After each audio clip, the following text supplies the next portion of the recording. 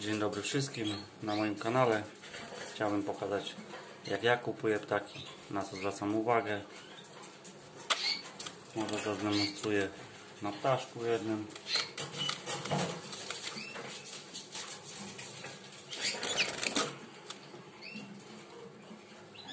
Jak wiadomo hoduję białe recesywne, czyli pierwsze co robimy sprawdzamy obrączkę.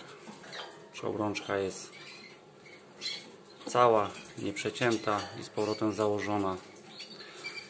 Patrzymy na ogólny stan nóżek.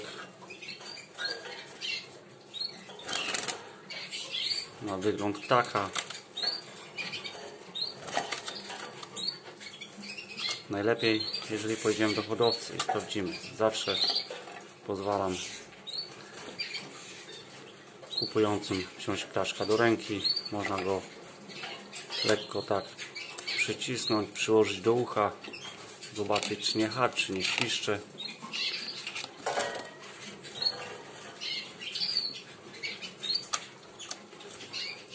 Jeżeli chcemy mieć czyst- czystej linii ptaszki, czyli żółty, biały, czerwony, czysto kolorowe, patrzmy na upierzenie. To jest akurat ptaszek szek z wadą. Ma w skrzydle przebarwione ciemne piórko. Taki ptak nie nadaje się do ciągnięcia linii czystych.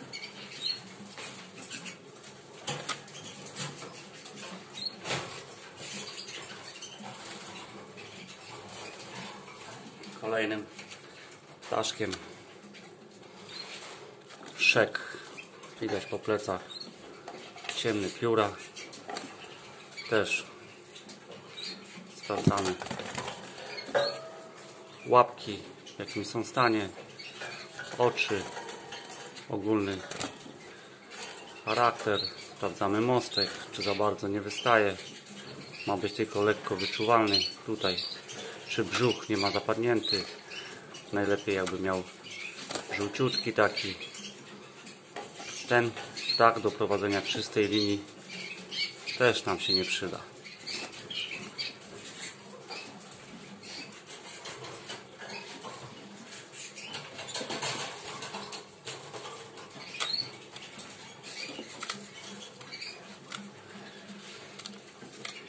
Tutaj mamy ptaszka też białego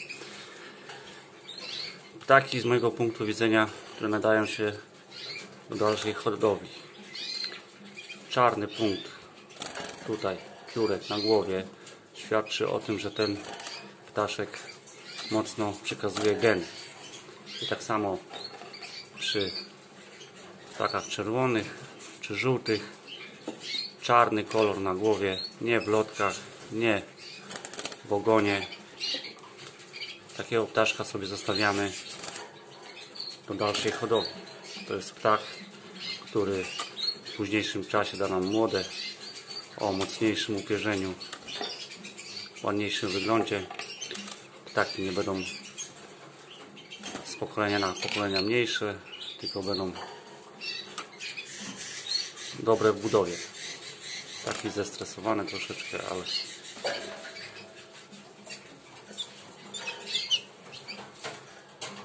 przy kanarkach czerwonych i żółtych musimy zwrócić uwagę na upierzenie. To jest ptaszek czerwony, niebarwiony, czyli zwykły oranż. I takiego ptaszka możemy zobaczyć po upierzeniu tutaj. Jeden ptaszek ma, byłby taki jakby przyszroniony, widać dokładnie. Takiego ptaka łączymy z takim ptakiem. Ptak intensywny, drugi ptaszek nieintensywny. Taki ma nalot białych piórek. Takie ptaki musimy połączyć razem w parę. Jeżeli połączymy dwa intensywne lub dwa takie szroniaczki albo nieintensywne, Młode będą słabe, będą nam się robić cysty piórowe. Tak jak wspomniałem, te ptaszki są niebarwione, dlatego tak wyglądają. Jeżeli ten ptaszek intensywny, lepiej samczyk, jeżeli miał czarną czapeczkę, tak samo jest dobrym nośnikiem genów, dobrze te geny przekazuje. Mamy wtedy fajne, młode, zdrowe. Tak jak wspominałem, wziąć ptaka do ręki, nie bać się, złapać go, tak, lekko, lekko nim przydusić, zobaczyć, czy ptak do ucha przystawić, zobaczyć, czy ptak nie haczy, nie świszcze i takiego ptaka możemy wziąć.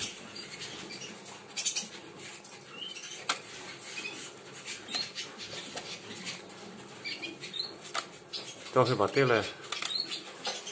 Ogólnie patrzymy na żywotność ptaków. Teraz są zestresowane. Widać. One teraz będą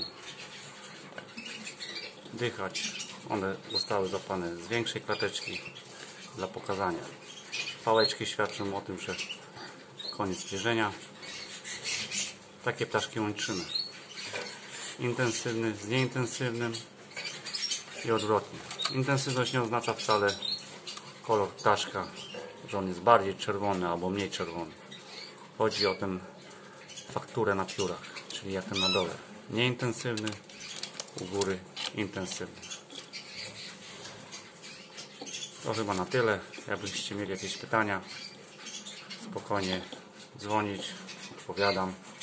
Cześć.